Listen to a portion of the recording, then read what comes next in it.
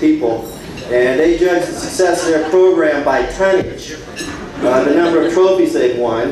And last year, this group eclipsed all other marks in tonnage. I think they took home 14 trailer fulls and 87 tons of trophies from competitions they've been in. And so for your dining pleasure this evening, I'd like to introduce the finest performing group the Bonita Vista's ever seen, The Music Machine.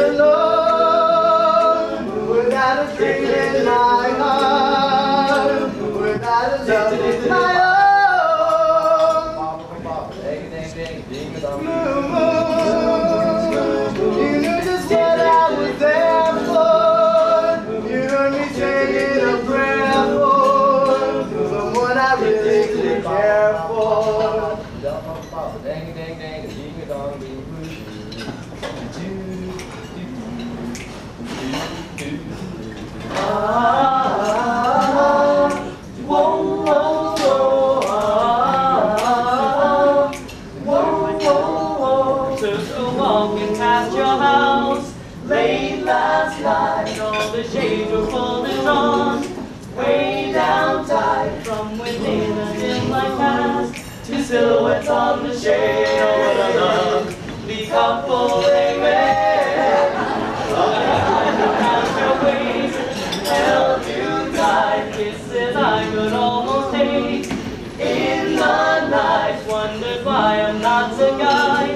Silhouettes on the shade, I couldn't hide those tears in my eyes. Silhouette, silhouette, silhouette, silhouette, silhouette. Oh, silhouette, silhouette, silhouette. silhouette. Oh, lost control and rang your bell. I was sore that mirror from me. Down your door and two strangers who had been two silhouettes on the shade said to my shop, you're on the wrong bus. Lost over to your house. On my feet, loved you like I've never loved. My sweet, vowed that you and I would be two silhouettes on the shade of days. Two silhouettes on the shade. Silhouette, silhouette, silhouette, silhouette, silhouette. Oh, silhouette, silhouette, silhouette, silhouette. Oh,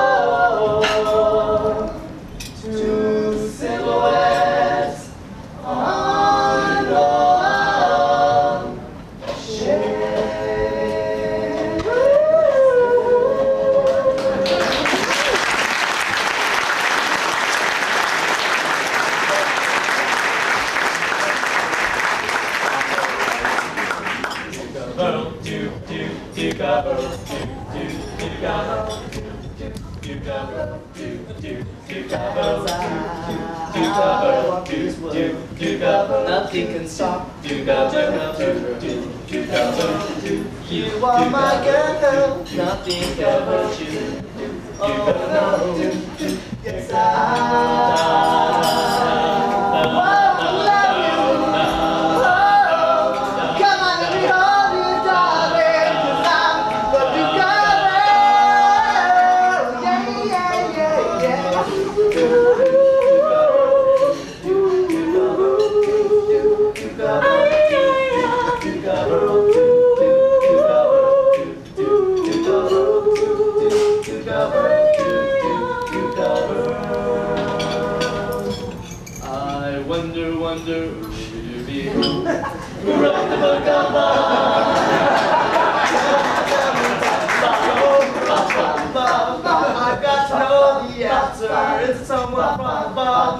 I wonder, wonder, who be? Who? Who wrote the book of love? Chapter one says to love her, to love with all your heart. Chapter two, you tell her, you never, ever, ever, ever ever gonna. In chapter three, remember the meaning of romance. In chapter four, you break up, but you give it one more chance. I wonder, wonder, who be doody who? Who wrote the book of love? Who wrote the book of love? Yip yip yip yip yip yip yip bum bum bum bum bum get it. Every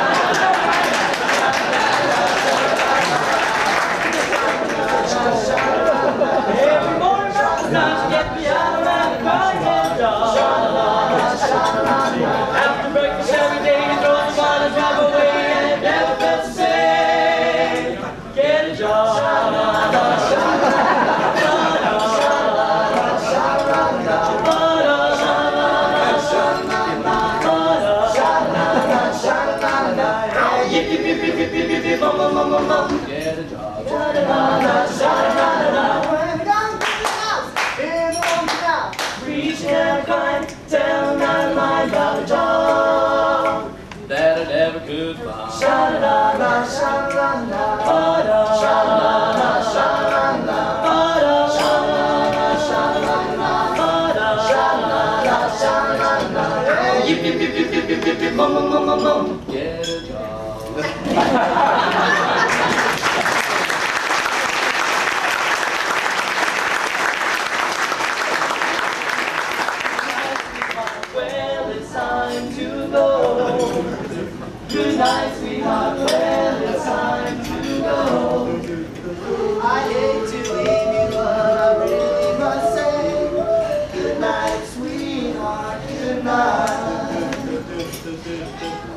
Night, sweetheart. Well, it's time to go.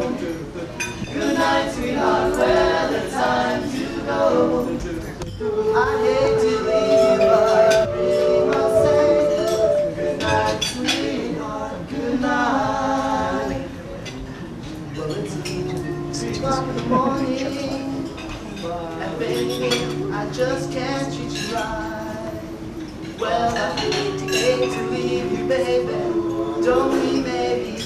because I love you so. Good night, sweetheart, well, it's time to go. Good night, sweetheart, well, it's time to go. I hate to leave you, but I really must say, good sweetheart, good night. Sweetheart, well, it's time to go. Good night, sweetheart, well, it's know.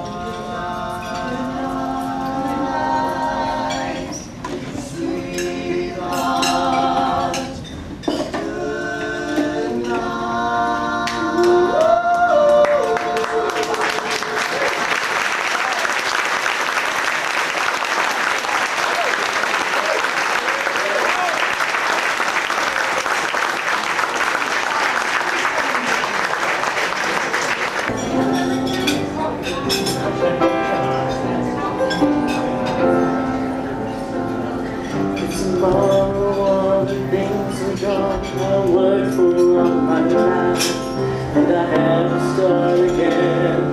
With just my children and my wife Thank my lucky stars To be living here today Cause the flag still stands for freedom. And they can't take that away.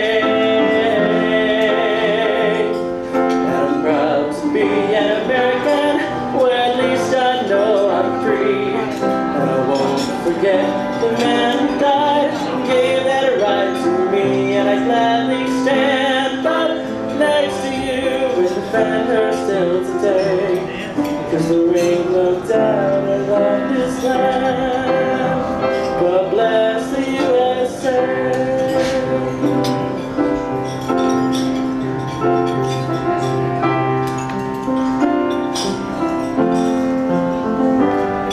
From the lakes of Minnesota From the hills of Tennessee Across the plains of Texas From the sea to shining.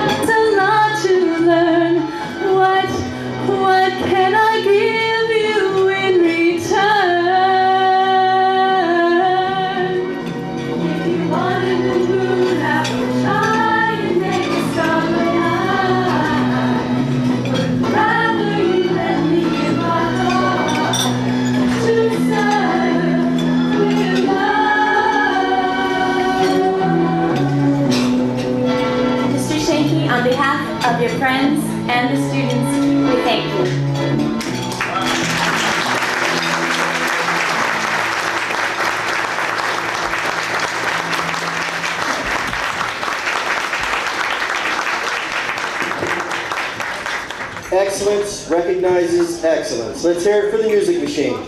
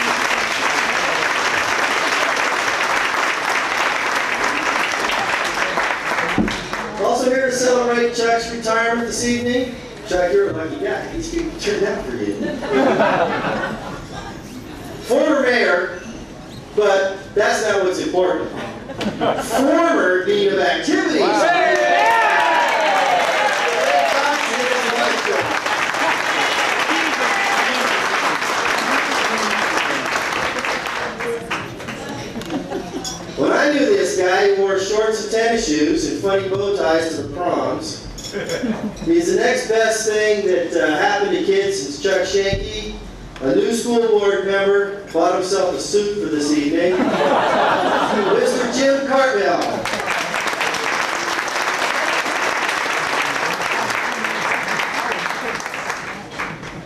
Also here this evening to honor Chuck and Shirley on their retirement from the district is the current superintendent of the Sweetwater Community High School District, Dr. John Rinden, and his lovely wife, Jenny.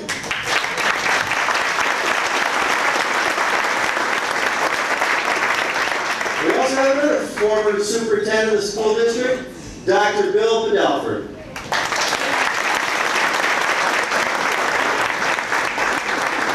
said he knew a little bit about Chuck in the past. Okay.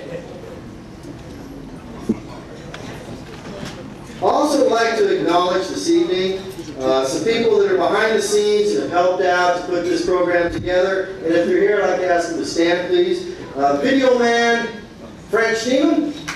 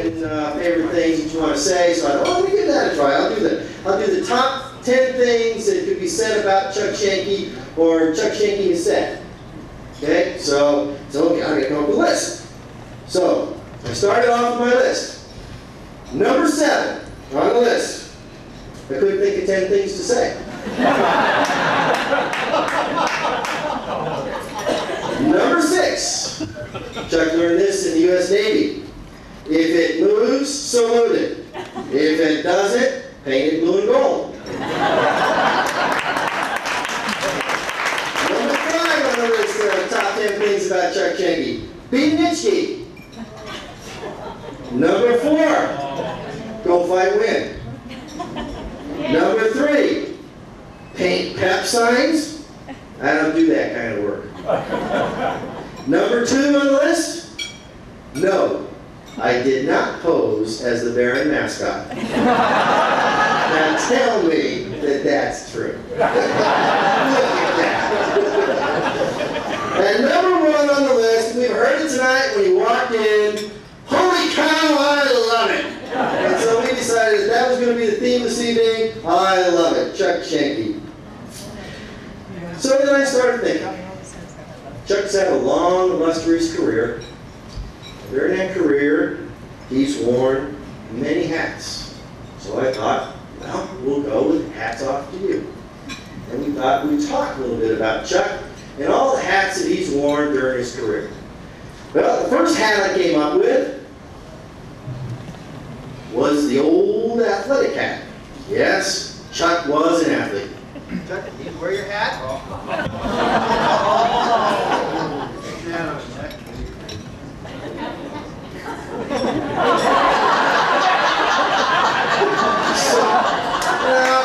Well, I've been with Chuck for a few years, and I've been listening to him tell these tales about what a great athlete he was in school, and I thought, no, no, I'm not so sure about that. So then I talked to Shirley, and Shirley confirmed, yes, Chuck was a great athlete in school. And I said, ah, come on, look at this. She said, no, no, no, no. Just two years ago, we went back to our little podunk hometown in Wisconsin, and Chuck was showing us around. We went down to the old train depot, it's an old logging town. And he walks into the train depot and he say, look, Shirley, look at this, look at that, isn't this great? Oh, I love to be back. Oh, this is wonderful, super duper. This little old lady comes tottering out and says, what are you doing here? He says, what do you mean what am I doing here? She says, I'm the kid that used to come in every morning and stoke the fire and put the wood and the coal in the stove. And after school, I'd come back in the afternoon and I'd stoke the fire and put the coal in the stove. Lady scratches her head and says, Don't remember. Says, Who are you? What's your name? Chuck. Charles Frederick Shanke. Charles Shanke? You're the basketball star! So I thought, yeah, old Chuck Roos was a basketball star. Then I got to thinking of that. Chuck is always the kind of guy that's out there, go fight win, paint a blue gold, rah, rah, rah. And then I remembered you started telling about the Paul Halupa story. Does anybody here know who Paul Halupa is? Paul Halupa. Bonita Vista High School basketball star holds the county career scoring record. Okay? You talk to Chuck, and he'll tell you because of the fine basketball games that he put on as the dean of activities. You know, he got the gym filled, he had him out there in the line until the beginning at 4 o'clock in the afternoon, and if it hadn't been for Chuck, Kaluka would never have scored all these points. And so, here we are, we're down to crunch time.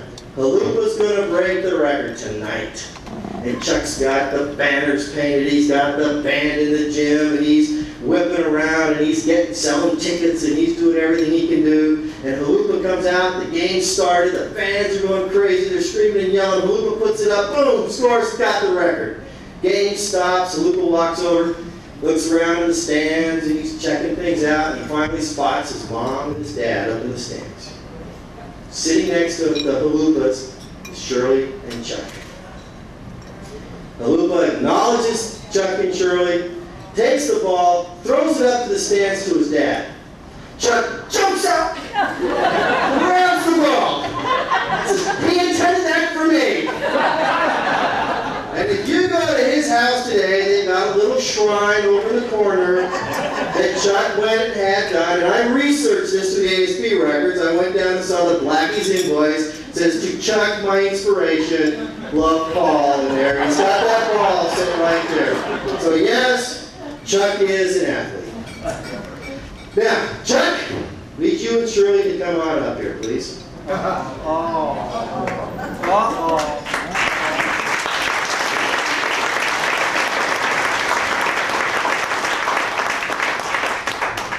Taking off on this theme that uh, Chuck wore many hats, just right, right there in the chairs. Okay, It's like prom queen King and queen. with this, this uh, taking off on this theme of Chuck's worn many hats, we got together with the faculty, and they put together, Chuck, a sort of this is your life. And what we'd like to do now is introduce to you and your friends who come here, your friends from Bonita, the Juanita Friends.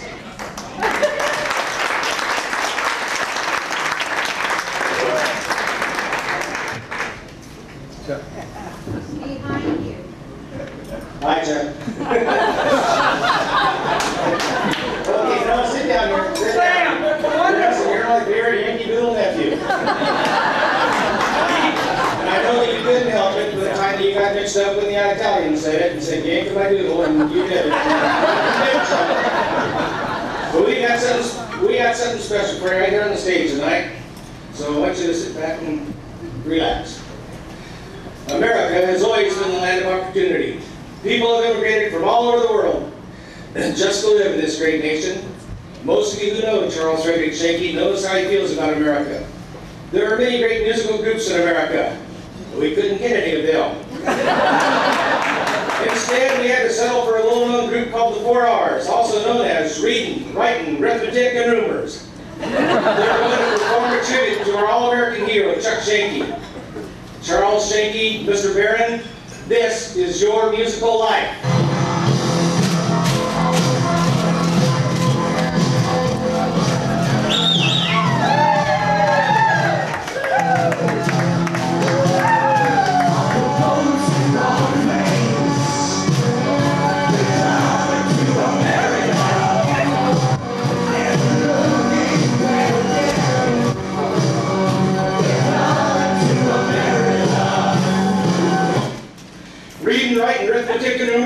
Take this opportunity to disclaim, disavow, and disclose that any and all events in this musical tribute to Charlie, whether fact or fiction, are the result of raunchy rumors we've heard, and any resemblance to the actual life of Charles Frederick Shanke is purely coincidental. So lean back and enjoy, Chuck, because...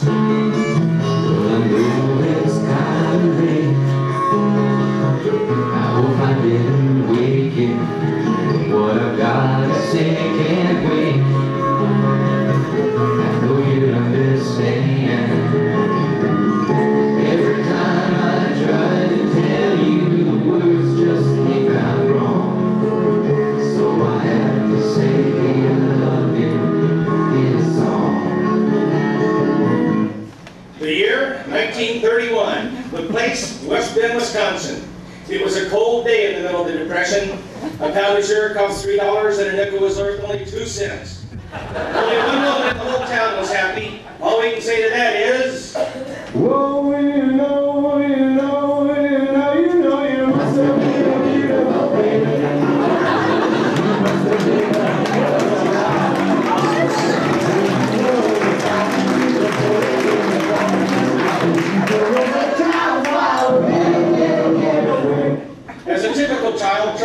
trouble Chuck regularly. And Mama Shaky was always singing, My baby does a hanky pan.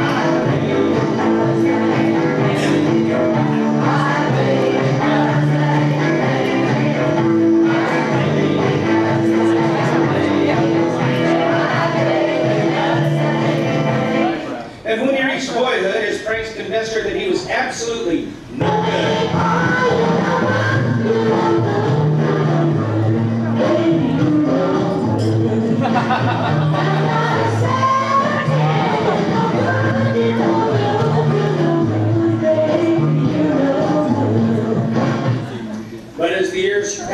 Chuck's mom realized. Are the can.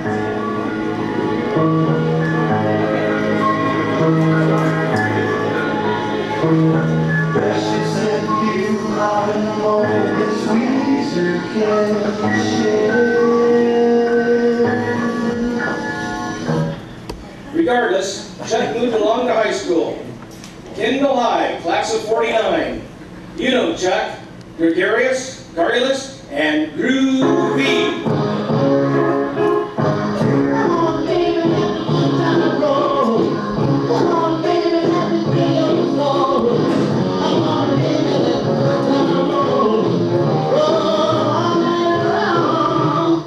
usually had to be one of the gang, but the gang knew that Chuck was a hound on the prowl.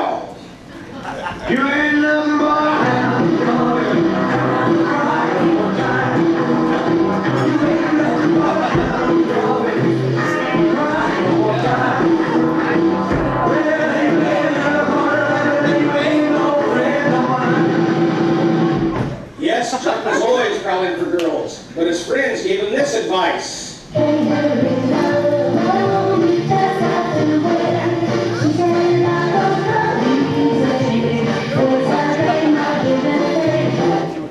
When he wasn't with the gang, Chuck followed the Puritan work ethic.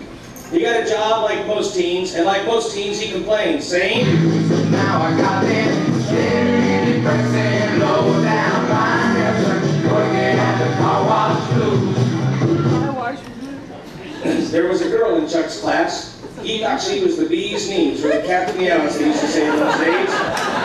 She used to come to the car wash, press her nose against the window, and sing.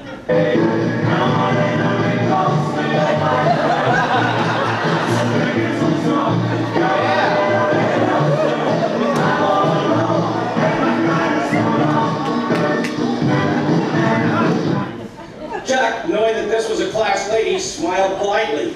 But inside, his hormones were screaming.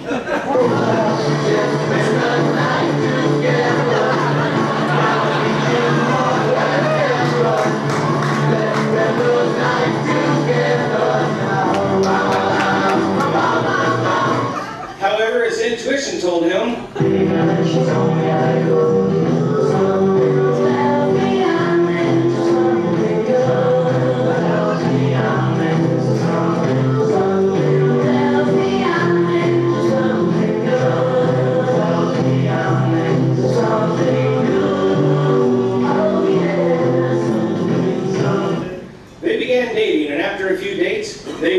swinging and singing. They were.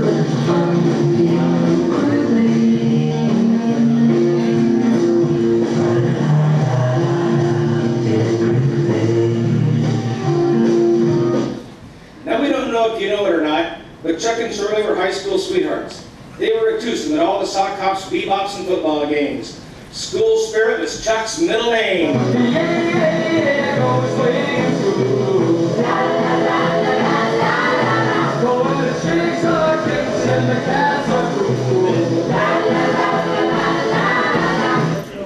Short were the years in high school, soon the prom, and Shirley and Chuck went together. Shirley, always a partier, thought she saw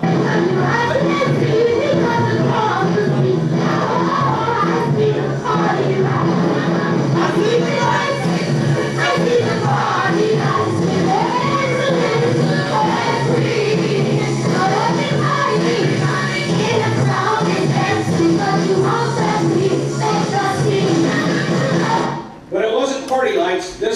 romantic cruise they were on.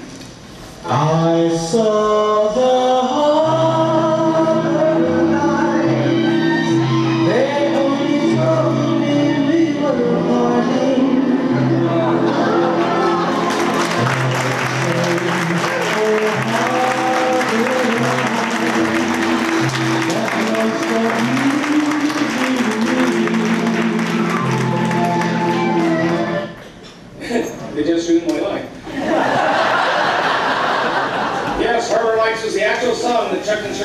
Shirley danced to at their senior prom.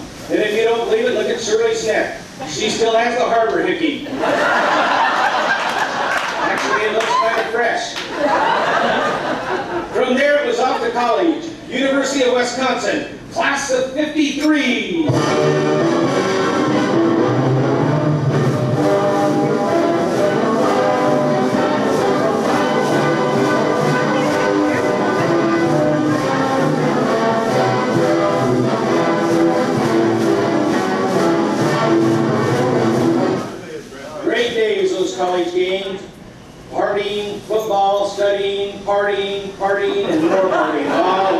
What great days.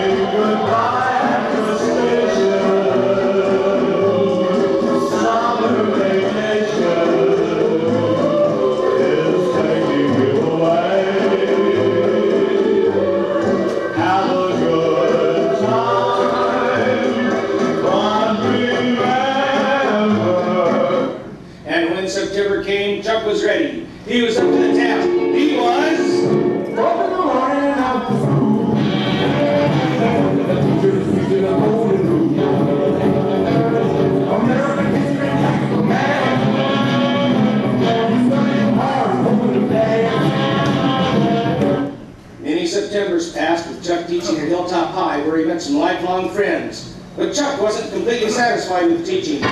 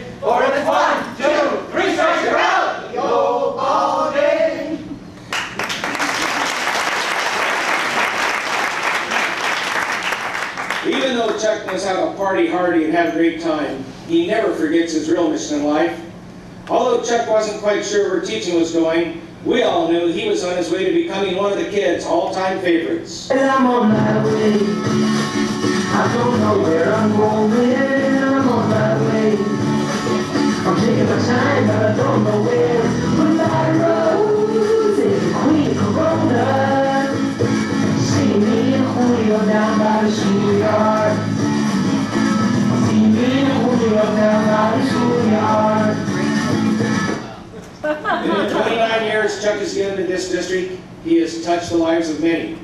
He is one special man, and we would just like to say in closing,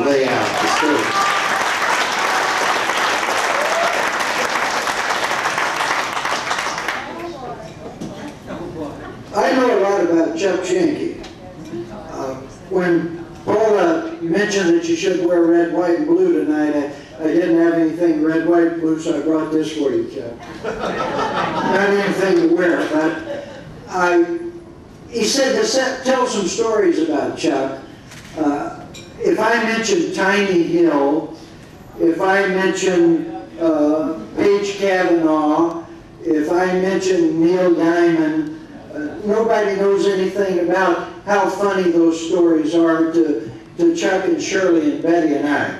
But uh, one of the first stories I ever heard about Chuck, and by the way, every, you know, a lot of times when you have a ghost, uh, people make up stories. All of these are true, and I, I think after it's over, Chuck will and Shirley will authenticate that. Uh, one of the first stories I ever heard about him was when he was at North Hollywood teaching, and uh, they were having a carnival. And so one of the students at the school that he was at was uh, a child of Jayne Mansfield. Now, and all of us that are pretty young have read about Jayne Mansfield in history books and, and know about how famous she was. Well, they were going to have Jayne Mansfield come to a carnival, and uh, it was Chuck's job to go and pick her up at her house. And uh, if you've ever heard anything about James Mansfield, a lot of people are older than I am told me about her. That, uh, that when you go to her house, everything was done uh, in the shape of a heart, and I'm not going to elaborate. I'm not going to tell any jokes about that. But everything was in pink. And when it was Chuck's job to go and pick up Jayne Mansfield for this carnival, and he goes in his little blue uh, Buick Skylark or whatever he had, and uh, he arrives and Mickey Hargitay, was the uh, bodybuilder, uh, was there to greet him at the door. And they had carpet about as deep as alfalfa uh, in pink, and he said, Chuck, when you come in, we want you to uh, take off your shoes. Now, my wife warns me when I go to work you don't dare wear uh, underwear with holes in it because you might have a heart attack and have to go to the hospital and things like that. Well, Chuck had a hole in his sock when he went to pick up Jayne Mansfield. Now, I don't know how he ever thought she'd fit in that blue Buick Skylark anyhow. But uh, most of us would have said, no, Mickey, uh, we'll just wait out here and uh, let Jayne come outside or we'll sit out the curb and honk. But Chuck, he takes off his shoes and with a hole in his sock and, and goes right in. So uh, I think this tells you a little about how determined he is in anything that he does, that he sticks with it. Now, I've known Chuck uh, since 1967. I went to Bonita the second year we were in existence out there. We only had uh, 11th graders. Uh, that was the highest. We were 7 through 11. Yet we were playing the varsity schedule. Chuck was the ASB man, and we didn't have any home games. When we played Mar Vista, the only thing that told you we were the home team is we wore the dark jerseys, and Chuck jumped in his blue Buick Skylark and loaded it with uh, with uh, popcorn and went down to, to Imperial Beach, and uh, he was ready to go. And every Friday he would come by my room and say, you know, I, I think we're going to win today uh, or tonight. Uh, he was always so positive, so optimistic, and uh, uh, you know, we only had juniors. I think Castle Park High had uh, cheerleaders that were tougher than our defensive line. But uh, we, Wayne and Dick and I sitting back there, we were not so worried, so worried if we were going to lose, it was how much, you know. So, but we at least we made a lot of money for the ASB because we were about six or seven homecomings because everybody likes to win their homecomings. This optimism, optimism carried on. We had we had season tickets to the Chargers with Chuck and Shirley for about five years, and uh, you know we we had a little tailgate party every Sunday. We went out. Uh, Chuck said, you know, I think we're going to win today. I, know, I know we'll win today, and everybody said, well, you know, Air Coryell, Dan Fouts, and, and all those people. Uh, this was during Ron Waller and Harland Svare and uh, Tommy Prothro years. So uh, the guy has always had enthusiasm. He's always had uh, optimism. I, I've never seen anybody so enamored with times in their life like birthdays. Chuck loves birthdays. Uh, Betty and I had the opportunity to help him celebrate his 40th birthday. Now, Right there. Okay. This, uh, Chuck, you just, I know most of you here know him, and you have to know how he acts and how he reacts to things. Uh, Shirley had called us in advance and said, come up uh, late in the afternoon and we'll go down to Tijuana and have a, a drink or two and we'll have dinner and it's a surprise for Chuck.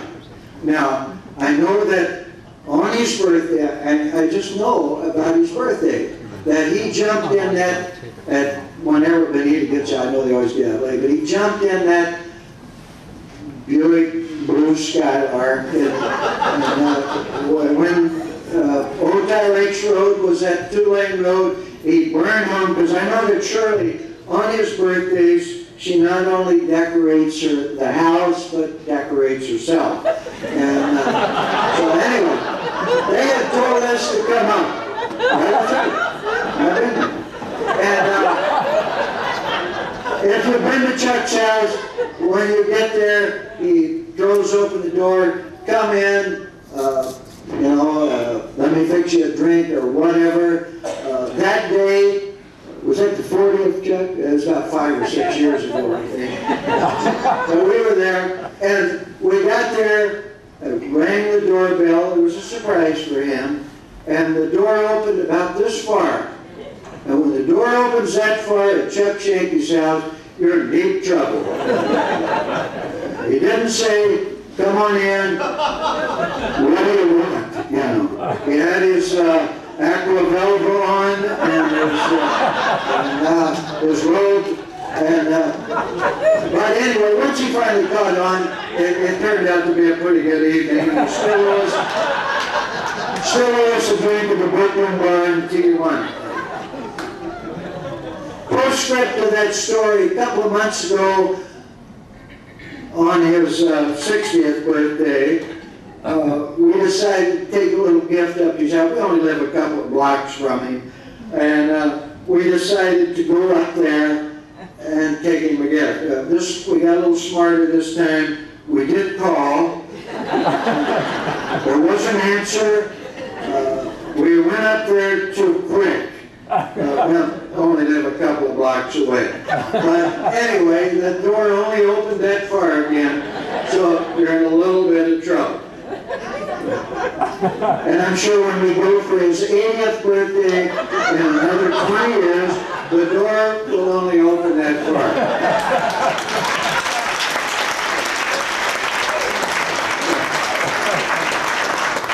I know a lot of you haven't heard of Kendall, Wisconsin. Uh, I'd never heard of it until 24 years ago. And I, I've met a lot of people from Wisconsin since that time.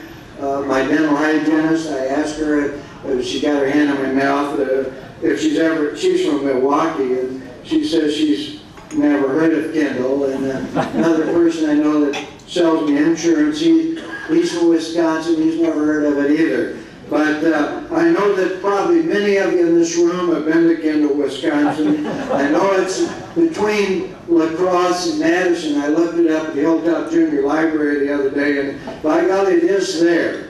And, and, but what I'm trying to point out to you is what kind of a person we're dealing with tonight.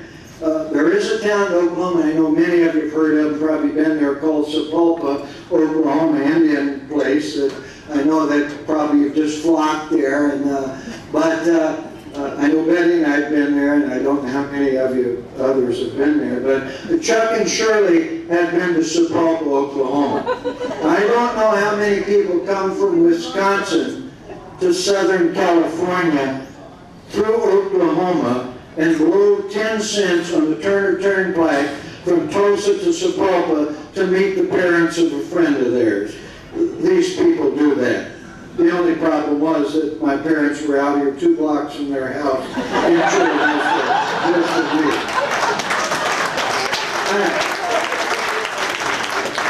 I don't know, I, I've seen Chuck Shanke speechless. Uh, I don't think probably anybody in this room has ever done it. We all have legends and idols we've met as, or we've idolized as children, whether they be actors, you know, Marilyn Monroe, which again we've read about and things like that, Clark Gable, sports heroes. One of Chuck's growing up in Milwaukee, uh, when the Milwaukee Braves were in, when the Braves were in Milwaukee, they've been so many places, but they were in Milwaukee. Uh, he was a, a big fan of theirs, and uh, it so happened at that time a former St. Louis Cardinal, uh, Red Schoendienst, the future Hall of Famer, played with the, with the Milwaukee Braves during the late 50s when Chuck was in his boyhood there, and uh, was a big hero his. Well, uh, a few years ago, a good friend of mine was with the St. Louis Cardinal organization, and uh, they were playing in San Diego, and uh, we went to the ball game, and afterwards we went up to have a drink at the hotel where the Cardinals were staying, where Red, and Red Schoendienst was the man, manager of the St. Louis Cardinals, and and Red Schoendienst walked in the lounge where we were staying. Now, I don't know how you react. I, I, most of us have never met uh, an idol. But Chuck said, oh my God, there's Red Schoendienst. And uh, this friend of mine said, hey, Red, come over here and meet some friends of mine. Well, if you've never seen Chuck Shanke speechless, he certainly was that evening. And only when Shirley did his laundry a couple of, a couple of days later will probably she know how excited he might have gotten that evening. But that was just some things that I know. Uh, we all know that, that Chuck went to the district in 1969.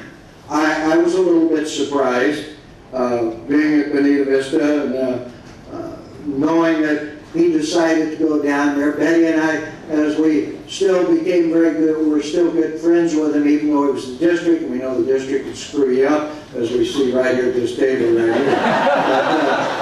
But, uh, we saw we saw some big changes in Chuck, and uh, we uh, we noticed those over the a series of the few years, and then in 1967, when he went back to be Bonita Vista High, we knew that this is where he belonged because you know he's a teacher, and uh, that's a pretty important word. Uh, I will never, of course, be too excited about the Teacher of the Year in the district until Chuck Shank is named that, but he's a teacher. And I'm not going to quote people, but I'm going to quote a great American educator, uh, Nick Nolte, in the movie Teachers. he said, the kids aren't here for us, we're here for the kids. Chuck's been there for the kids in the Sweetwater District for 29 years.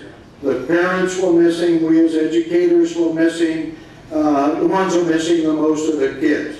Let me read you a telegram, Chuck, that I got today. Chuck, congratulations on your re- retirement. Unlike Casey, you did not strike out. Bob Starr.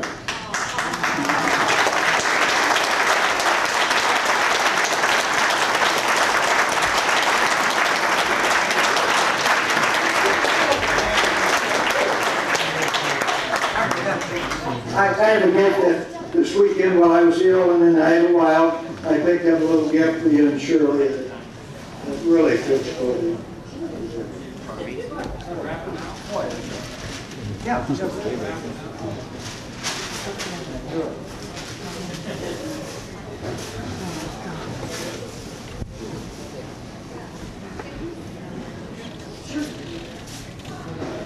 Chuck and Shirley, uh, we're Don and Bob Hart, and we came all the way from Phoenix yesterday, flew in, and we have to catch a plane.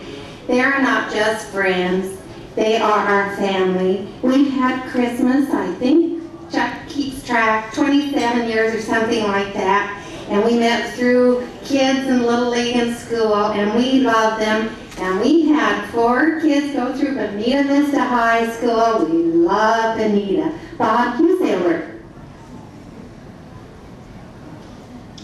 Well, you won't believe this, but I knew Chuck Shanke before he worked for Bonita Vista High School. So, uh, Chuck, you're my best friend, and I love you, and uh, we'll see you in Phoenix in a couple weeks.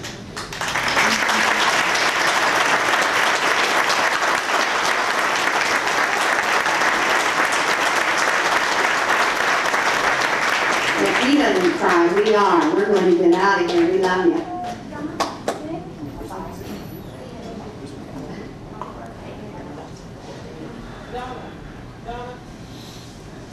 Speaking of crying, just uh, so that you know the pool that we took on how many times Chuck would cry by this time in the program, I'm winning.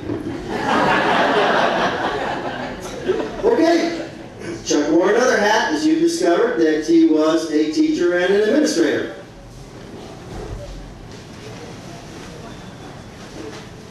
So Chuck, Put your hat on. talk a little bit about you as a teacher and administrator. Everybody knows Chuck's reputation for being organized down to the nth detail.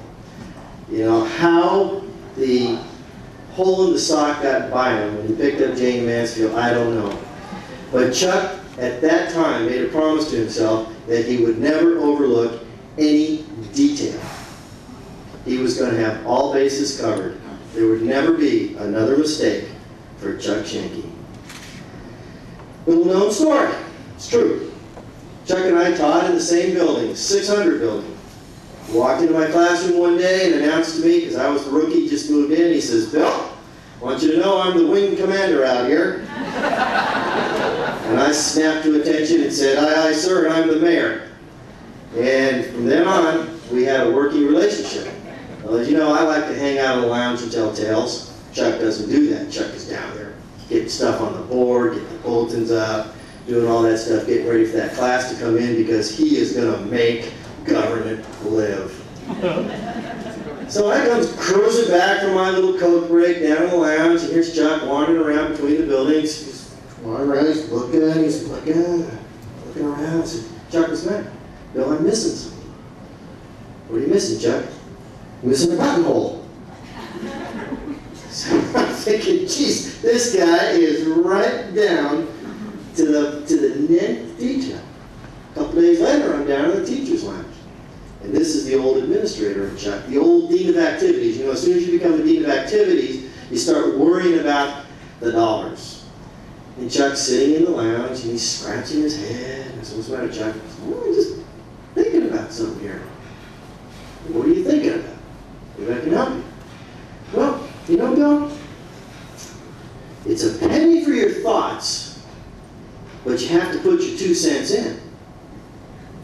Chuck says, Somebody's making a penny on that deal, and I want to get in on it.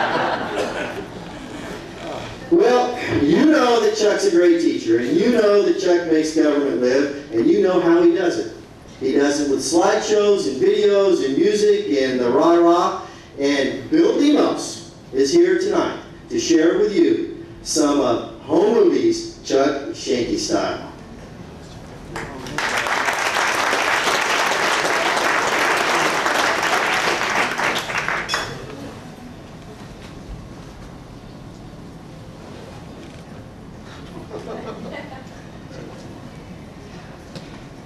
Chuck, I don't know what to say.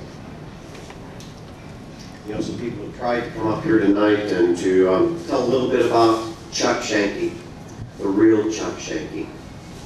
And they really tried hard. And some of them really close. And others, well, they tried. But there's only one person, really, who knows the real Chuck Shanke. There's only one person in this room. The one who knows the way it really was, the one who knows all of the hard work, all of the pain, all of the suffering that's gone into Chuck Shanke. Guess who? Well, that's close. no, I wish I could say that it was Bill Demos. Bill Demos knows a lot about Chuck Shanke, but not enough. And Nancy and Dick, well, they could share a few stories, I'm sure. And Shirley, yeah, you bet. Shirley could really tell a better story, I think, than Kitty Kelley. But the person who knows is here today, and I've asked him to share about 15 minutes of the true Chuck Shanke story, the real one, in his own words. Only covers a few years of Chuck Shanke's life, but I think it'll give all of us a better feeling for the real Chuck Shanke, his love for his wife, his kids, and his country. I'm pleased to present not a Bill Demos extravaganza, by the way. This is a Chuck Shanke extravaganza, telling a portion of the Chuck Shanke story. Hope you enjoy it.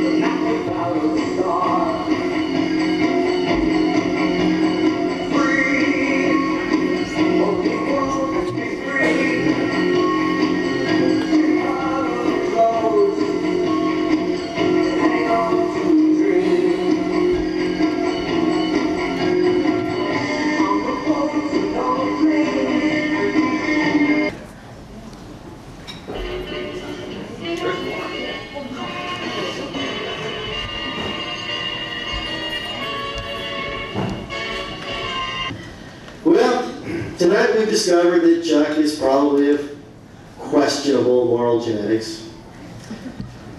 But we've all stood up here and said that he's a great man. But we all know that behind every great man is a great woman. And Chuck understands that too.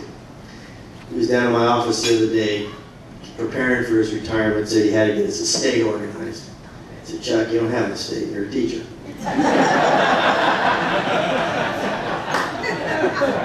So he said, well, but you know, Bill, I'm, I'm concerned about this retirement. You know, I'm so blessed to have Shirley in my life, you know.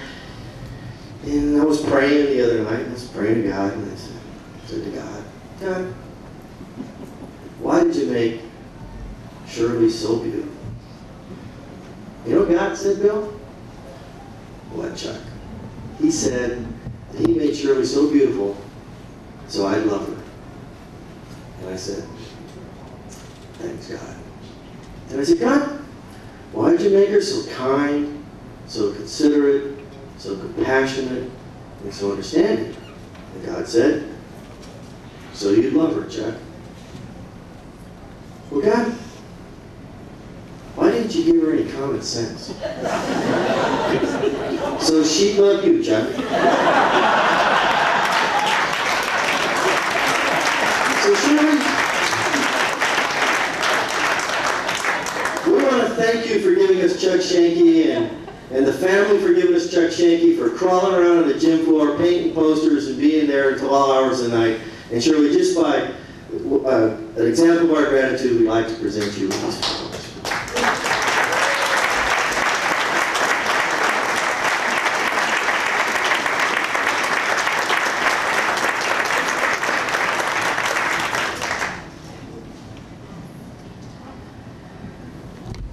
Well, you know, you can't get away without letting the big boys from down at the district talk. They've always got to have their say. So it gives me great pleasure to introduce a tennis coach from Bonita Vista High School, Mr. Jim Cartmill.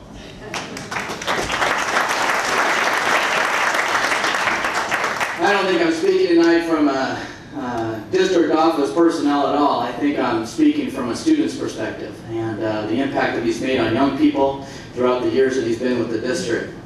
As a student, I didn't have the privilege of being with him. In fact, Greg Cox was my dean uh, of activities at, in ASB as I was a senior at Bonita Vista High School. And I, I remember I won most school spirit that year for toilet paper in Hilltop with 600 rolls of toilet paper. And uh, that's the kind of impact Greg had on my life. And but Chuck, and it's hard for me not to call you Mr. Shanke, but Chuck, you've had an impact on kids uh, that has told them that they can have pride in a school that's not tangible, that they can believe in something, and that they can be proud of that. And you've really left that as a legacy in your impact on kids. As a coach for Bonita Vista, and as a campus life director there, you really taught me you were a mentor to me, uh, that there isn't any kids around that you can't love enough. And uh, no matter how much they disappoint you, no matter how much they let you down, you keep loving them and you keep going after them. And you taught me that as a teacher and as a friend. When I ran for school board, you never came up and asked me how the campaign was going. You said, Jim, how are you doing? How's your life going? You were concerned about the individual, about the relationship. And that's what made you an institution at Bonita Vista High School. Because of the impact and the way that you touched my life and the lives of the students you worked with. Survey was taken of a unique group of individuals. You don't quite fit into this category yet because these people were 95 years old and older. And I'm sure when you're 95, you'll still be cracking that door open just a little bit. And uh, not like these people were. There were 50 of them, and they were asked to, uh, if they could live their life all over again, what would they do differently? They said three specific things. The first one was that they'd be willing to reflect more on their life. They'd be willing to look back on their life at the things that they accomplished. Just watching tonight on the video and the slides and all else shows uh, the reflections that you can look back on your life and the way in which you live life to its fullest and the way in which you, again, had an impact not only on your family, but those that you work with and the kids that you work with. The second thing they said is not only would they be willing to reflect more, but they'd be willing to risk more. You did take those risks. Even when you look kind of goofy wearing that blue and gold and uh, look like a crazy man. And the kids were going, who is that teacher that's dressed like that? Why does he do that? And yet you keep reaching out, taking risks, willing to go the extra mile. And lastly, they said not only would they reflect more and risk more, but they'd be willing to be involved in something that outlived themselves. Your teaching career is definitely something that's going to outlive your legacy at Bonita Vista because of the impact you've made on us and your colleagues as teachers. My favorite quotation happens to be from the Bible, and it's a verse that says this. It says, Do nothing from selfishness or empty conceit, but with humility of mind, let each of you regard one another as more important than yourself. Mr. Shanke, and I say that out of respect, thanks for being a model of that verse. Your teaching career will live on in my heart, and you'll always be our parent. Thank you very much.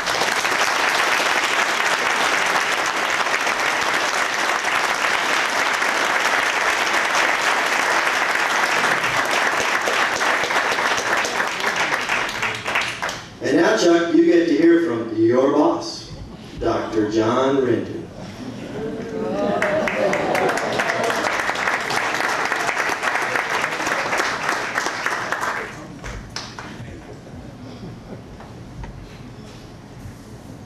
I'm John, and I work at the dark, dark tunnel down on 1135th Avenue. And uh, yes, Chuck, uh, your life and Shirley's life has been surrounded by Rendons for some 27 years. If you think about it. Papa Joe hired you in 1962, if I'm not mistaken, and I'll retire you in 1991. I think that's a real honor to have Chuck Shanke in the district this long. Ten years ago, we referred to ourselves as the Decade Boys. That was Bob Heathman, Chuck Shanke, and John Rendon. I don't know if you remember what the three guys did with their wives 10 years ago, this last month. Bob and I remember, we went to El Torito. And I was 40 years old that month. And Bob was, uh, and you were 50, and Bob was 60. That was 10 years ago. Now Bob is 70 years old, you're 60, and I still feel 40.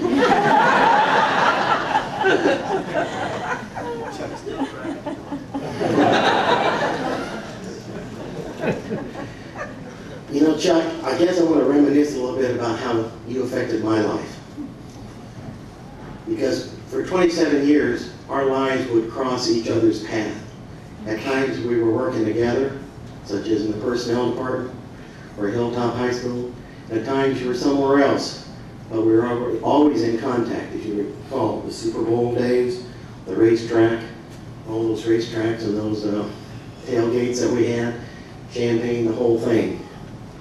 And I guess I kind of think about how you affected my life because I do give you some credit for some of the things that I think I look at today. It was 1964 and I was one of 111 teachers hired that fall. And you were in room 704 teaching U.S. history and geography.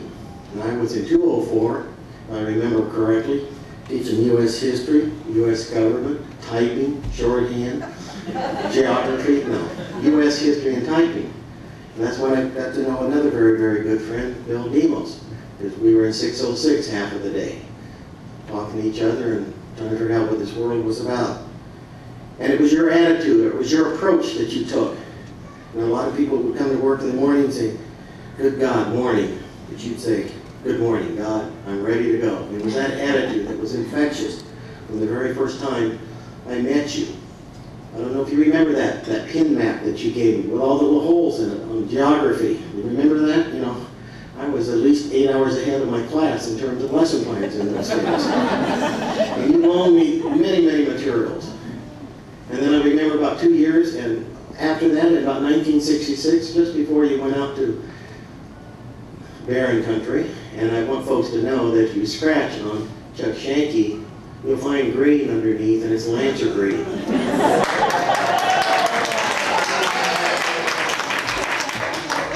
It is Lancer Green, and Chuck and John had this wild idea. I think I was in charge of the pet squad, or you were in charge of the pet squad, and we decided to support Wayne Whitney and AJ and Byron, and we all went out and bought $30 green jackets and showed up to the football game that night, and everybody said, wasn't that really great the way the school supplied teachers with jackets to supervise the uh, football games?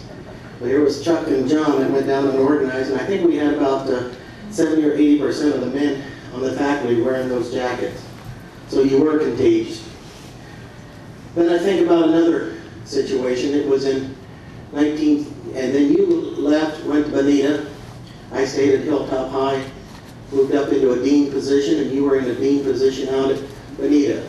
And our worlds were still interwoven, but you were at a different site from where I was. And in 1969, you went to the district office. Lo and behold, I did not know that we would be working together again in July of 1976. I think of some of those good memories. I think about the little bit of advice that you gave me at that time. You said a happy person is not a person in a certain set of circumstances, but rather a person with a certain set of attitudes. And if there's anybody that I know in my life that has a positive attitude, it's a Chuck Shanke. it's a Charles Shanke. And I really appreciate that.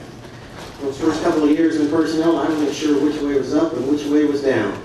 And you reminded me, uh, may rest in peace, Jim Midgley, you reminded me that Jim Midgley knew 41 ways to tell you what time it was on the day. And he said, learn your lessons well because it'll pay off. And we used to talk about that many, many times. I can also remember one of many weight contests. It looks to me, Chuck, today we both lost. but we would have these weight contests, ladies and gentlemen, and we would just lose 10% of our body weight. And we would work at this, and it was a big contest in the district office. Everybody knew about it. In about the last 72 hours, Chuck stopped eating and I stopped eating. I thought we were both wrestlers, walking around spinning all the time. We had a few weight contests, and I think I was successful in most of those, Chuck, but today I'm not so sure as I look down just a little bit. Then about five years ago, I remember, true story, you called me and you told me about a Russian fable. We were with, Bill had moved out of the district and I was in the personnel. Well, maybe I'm exaggerating just a little bit on this, Chuck. You're trying to remember what you told me. You told me about this Russian. And he was walking in the snow in Siberia. And he heard this little chirping sound, a little chirping sound. And he kind of looked down to the side. He saw this half-frozen bird. And he told me about this story, and he said this Russian took this half-frozen bird and put him in his coat and warmed him up. And as he started, started to thaw out, bird started to chirp a little bit more and chirp a little bit more. And finally, the Russian knew that he couldn't keep that bird inside the coat all, all along, looked to the side of the road, and here was some, yeah, you call it, molded it around, put the bird in there. The bird was nice and warm in that stuff. And pretty soon a Russian bear came along. And lo and behold, the Russian bear ate the bird. And I said, Chuck, what's that mean? What's the moral of that story? He said, the person who put you in there is not necessarily your friend, your enemy. And the person who took you out is not necessarily your friend. But when you're in it up to your neck, don't chirp. so I stopped chirping about five years ago, Chuck. I appreciate the advice. Then in January, you called me once again. And in January, you said, John, you've made it, you've got big set of responsibilities. Remember the two rules of management. I said, Chuck, I'm not sure what the two rules of management are. He says, remember, you can't make a mistake if you follow the two rules of management. So Chuck, I want you to know for the last five months I've been following these rules. First of all, delegate to subordinates. And also defer to higher powers.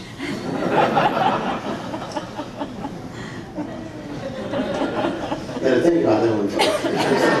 It. Chuck, I wanted to end on a very serious note. And I have a written statement here which kind of describes our relationship for 27 years. Yours, Shirley's, Jenny's, and mine. But it's really describing you. We've had a lot of fooling around tonight, a lot of laughter. But I want to end on a very, very serious note because of how much I feel and think about you as a friend and almost as a brother in many respects. Charles Shanke is a man bent on shaping his mind to give happiness to others. Charles Shanke's life leads upward. He cherishes worth. He's fair. He's broad. He's calm. He's spacious. His own life is modest. He puts deeds before words. He helps the needs of others. He considers what is right, not what will pay. He trusts in justice, not in favor. He is consistent, not changeless. He is firm, not quarrelsome. He is my friend. He is our friend. Chuck, I love you like a brother. Congratulations on your retirement. Best wishes.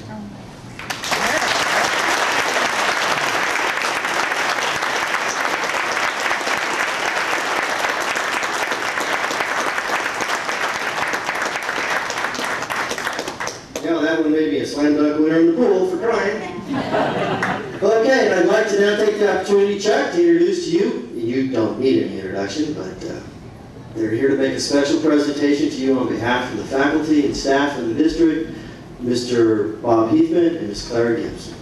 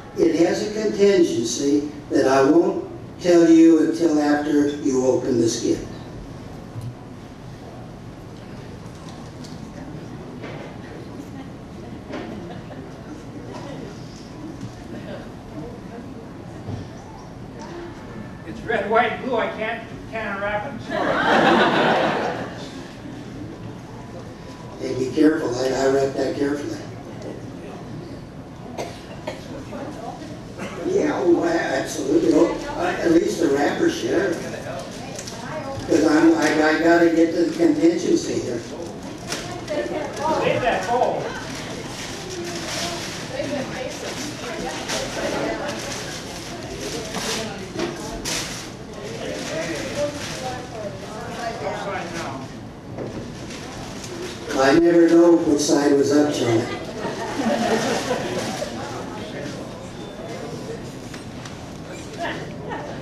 you, you, don't, you don't have to open the box trunk.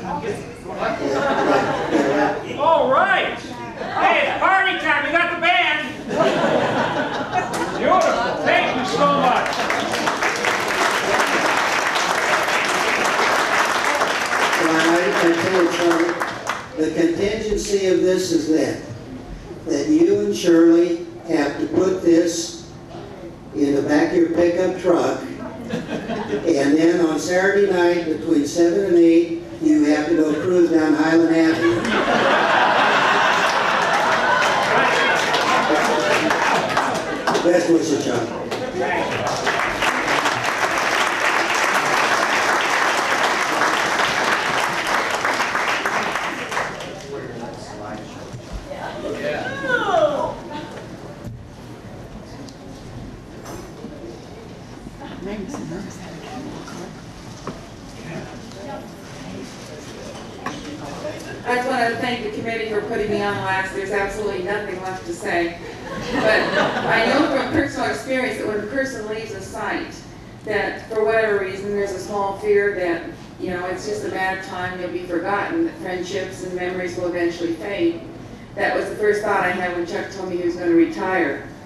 That Bonita would forget Chuck, not Mr. Baron, the very heart and soul of Bonita High. Chuck will be remembered every time we look at the school's mascot, or the logo on the gym floor, or the white wind banners at the football games. The thought was that Chuck would forget us. So we had to think of something that would ensure this did not happen. So we got together, put pen to cloth, and created a lasting expression of our friendship and good wishes.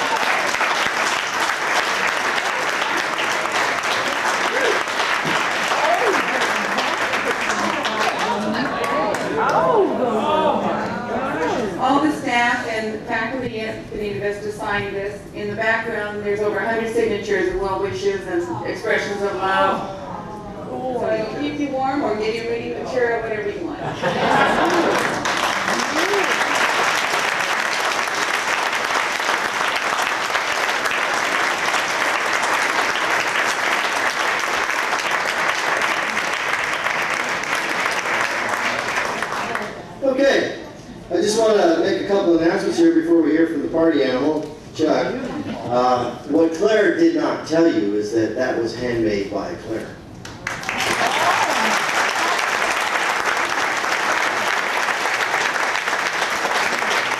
We'd also like to uh, give a little acknowledgement to the party planners this evening, Mr. Bob Heathman, Mr. Bill Demos, Ms. Michelle Belo, and Ms. Paula Bingham. for the fine job.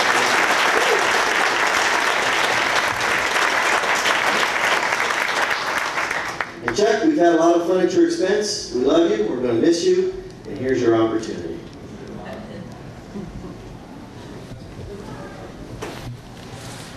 Well, I tell you, when you get surprised like I was tonight, I I have no speech, none at all, and, and words really can't express my feelings, my emotions, my love for all of you.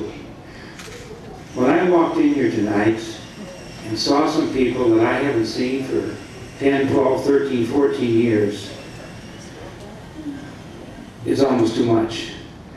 And you know, I could go around this room right now and I think, without any difficulty at all, saying many, many positive, wonderful things about you beautiful people. Willie Feder here, Hilltop High School. When I came in in 62, Willie took me under his arm and I was like a little puppy dog. He took care of me that first year.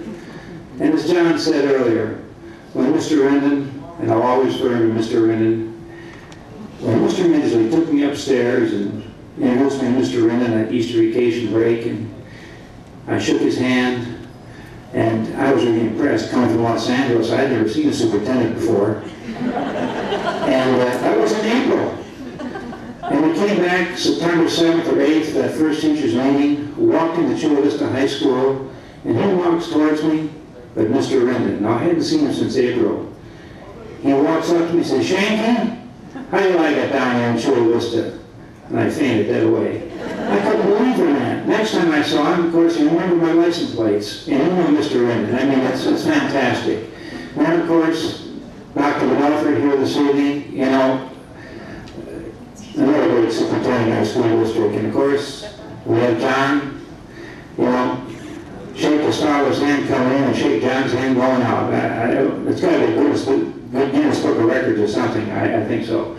Well, you know, again, I want to thank all of you for this beautiful, beautiful meeting, evening, and I know Shirley thanks you too, my, my son and daughter, and my son-in-law as well, Jeff.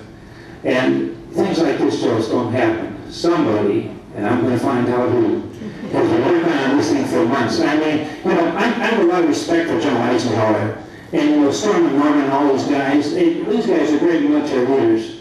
But boy, young people, and talk about keeping secrets. I mean, it's not fair.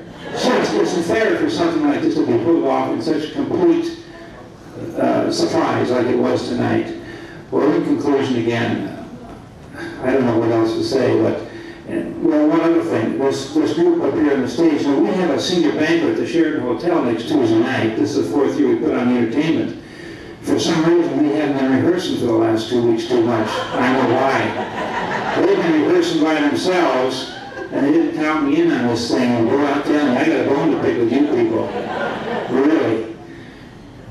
People that came up here, and Jim Cartwell, thank you so much for the fantastic remarks, I appreciate it. And Wild Bill McLaughlin, I'll be down to check out that estate papers with you real soon, big guy.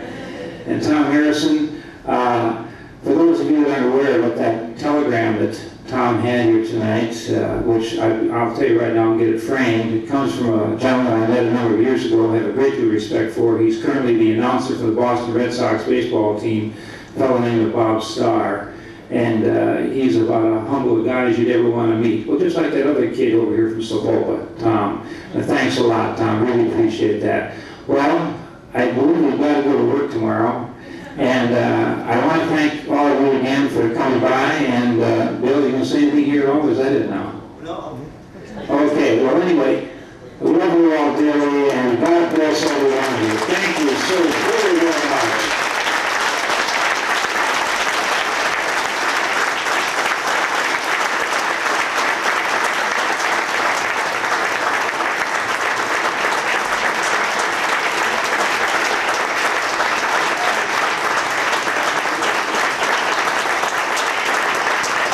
Well, too, too early, you know, let, uh, we want to just let you wander out of here without having a proper dismissal.